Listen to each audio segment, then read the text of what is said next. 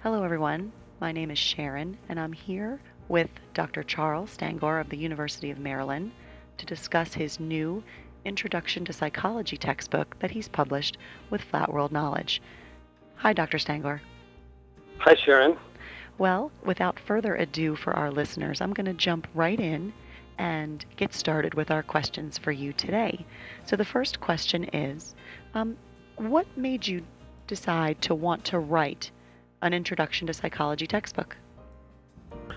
Uh, well, I think the short answer is that uh, I love psychology, and uh, I think that students love it in a lot of ways because it has so many implications for people's everyday lives. Uh, it, no matter what you do, you find something in psychology that's uh, interesting and important. Uh, so maybe you're interested in brains and biology because you're looking forward to a career in health sciences or medicine. Uh, and if you are, then in psychology, you'll learn a lot about how psychologists study neurotransmitters, how they image the brain using neuroimaging machines. And uh, this study of neuroscience is one of the fastest growing fields uh, in science. And psychology is right there helping people learn about it.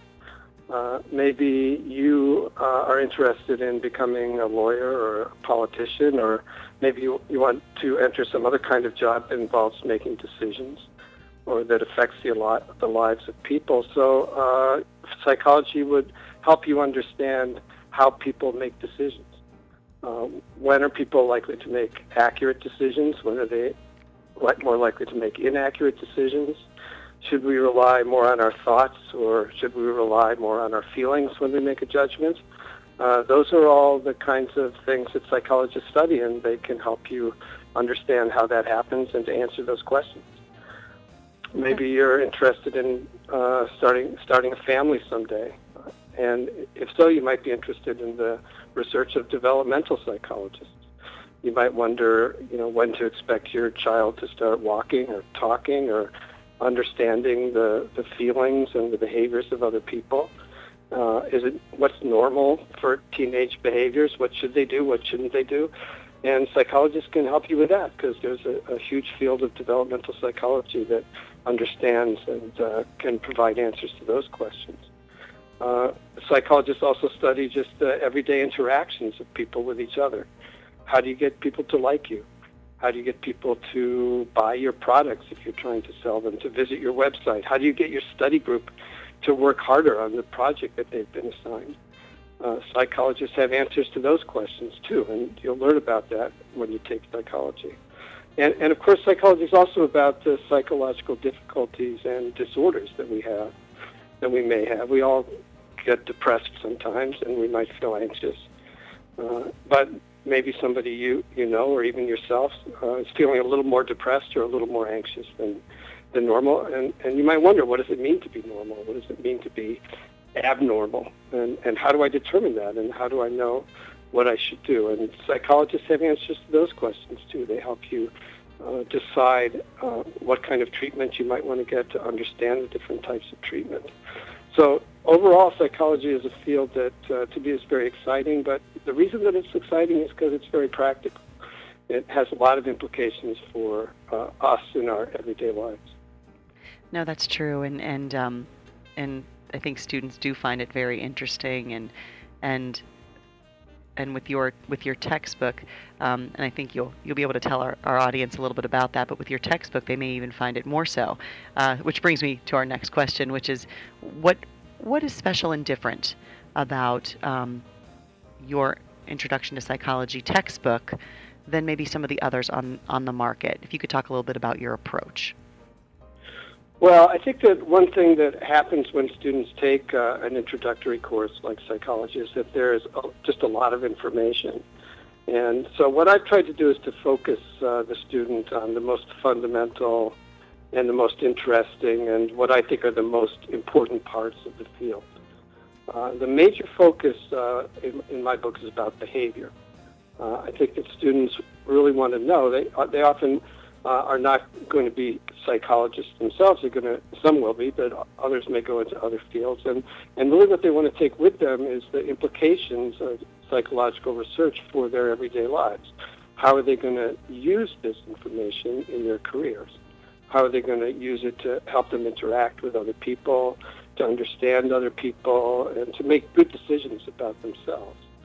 So I think that you know, five or ten years after you take this course, you're not going to remember all the details of the course. But I do hope that the student will take away uh, kind of the fundamental principles of, of why psychology matters and what's important. So, you know, in psychology, you might learn, for instance, about the, the central nervous system. That's the brain and the spinal cord. And, and depending on what your career is, you might not need to remember the details about it. But you might remember, and I hope you will, that that the central nervous system matters because it influences our emotions and it influences how we respond to stress. And so it's important to us uh, to understand how it works because we all have emotions and we all uh, experience stress at times. Uh, and you also learn in psychology about you know, a whole lot of other topics about cognition and memory and learning and consciousness and development and a whole lot of other things. And my book focuses on why those things really matter. How can we use psychology to help us better understand our own behavior and better relate to the people around us? Uh, each chapter has a couple features that are designed to link the principles of the chapter to real world applications in business, environment, health, law, education, and other domains. Uh, for instance, there's a an application on courtroom juries. Do they make good decisions or, or, or not, and why? And, and there's one on, on leadership, what makes a good leadership. There's one on stress, how we respond to stress. There's one on parenting. And so each chapter uh, has a goal of linking the topic to something that really matters. And uh, the existing textbooks are often very long, and I think it's difficult for instructors to cover the entire uh, the entire book in, a, in one semester. So I've, I've tried to uh, kind of focus my book to be a little more concise, uh, to focus on the things that I think are really critical. Uh, and uh, I don't think we've really left anything out, but we've uh, been more careful to really try to focus on the things that, that matter uh, by separating the most essential topics of psychology from the ones that are, are, are less essential. So overall, I think the, the book has a little more streamlined feel than some of the competing texts. That's very good, very good. So they've got the students have a little bit more of a concise book. Professors have a little bit more of a concise or, or targeted book to, to use in their class with a behavioral approach, which is, which is hopefully going to make those students even more in, more interested in what is already an interesting topic to them.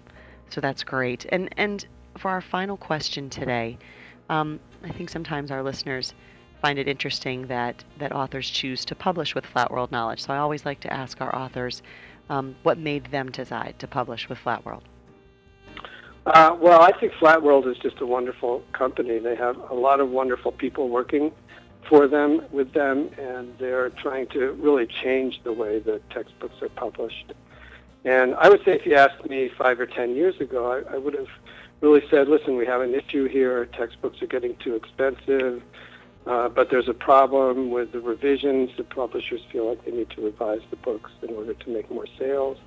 Uh, but nothing really ever changed, and uh, it was difficult for the publishers to to bring out new books because doing so was so expensive. And it was very difficult for students because books just kept getting more expensive. And Flat World has jumped in and said, you know, listen, we can do things differently. We can uh, think about things in a different way. So it's a great company, uh, a great business model, and hopefully I see it really as uh, what you might call a win-win-win situation. students will win, the authors will win, and uh, the publishers in the end will win, and we'll have a model that will, really, really work. And I'm very much looking forward to being involved in, in, in the company. And and we're thrilled that you have. Uh, we're thrilled that you chose to to publish your book with Flat World Knowledge. And and with that, uh, Dr. Stangor, I'd like to thank you for your time, um, for your um, contributions and dedication to the discipline, for all of our listeners for joining us today for a handful of minutes to hear a little bit about um, the new Introduction to Psychology textbook by Charles Stangor from the University of Maryland. And we hope you all will take your time to peruse it, order a desk copy, and um, thank you all for listening today. Bye now.